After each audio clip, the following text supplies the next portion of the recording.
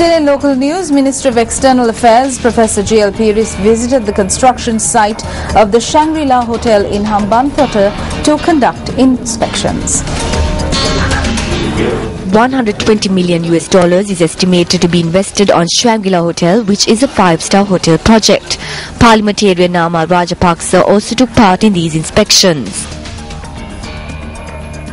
මේකේ විශාල වැදගත්කමක් තියෙනවා එකක් තමයි ආයෝජනය පිළිබඳ ආයෝජකයන්ට There's a great significance in this project. This includes investment. Having hotel chain like Shangri-La, trust in the future of Sri Lanka in the investment will establish confidence in others to invest here as well.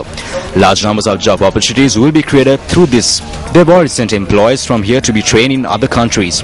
Although the raw materials that will be used by the hotel are from this area, that is why this is an important venture.